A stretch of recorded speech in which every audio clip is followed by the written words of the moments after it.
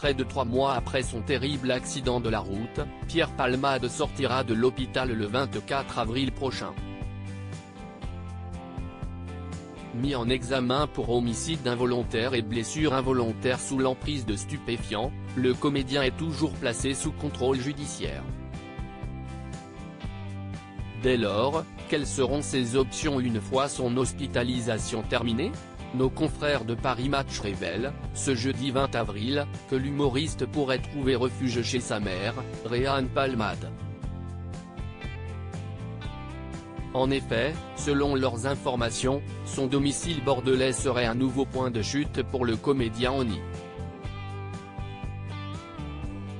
Auprès de sa mère, Pierre Palmade chercherait compréhension et aide. Seulement, depuis de nombreuses années, leur relation est distendue. Le 3 mars dernier, Public dévoilait que cette dernière ne serait pas venue au chevet de son fils à l'hôpital. Et pour cause, mère et fils seraient brouillés depuis 5 ans.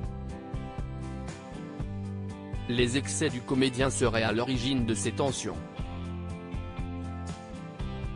La maman serait depuis des lustres en froid avec son fils, dont elle ne supporterait plus les frasques, écrivait alors l'hebdomadaire. Supérieur à supérieur à Pierre Palmade, Muriel Robin, Michel Larocque, Véronique Sanson. Les femmes de sa vieux mère démunie en 2019, dans une interview accordée au Monde, Pierre Palmade avait évoqué sa relation avec sa mère.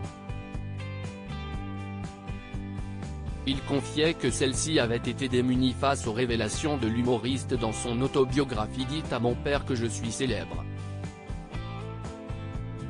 Après la lecture du livre, Réan Palmade lui aurait dit « Je ne pensais pas que tu revenais d'aussi loin ». En outre, l'ex-époux de Véronique Sanson était revenu sur son coming out à l'âge de 18 ans. Je crois que je suis attiré par les garçons, avait révélé Pierre Palmade à sa mère. Et celle-ci de répondre, je crois que je m'en doutais un peu. Point, je serai la seule femme de ta vie. Article écrit en collaboration avec 6 médias Crédit Photo, 6 PO pas.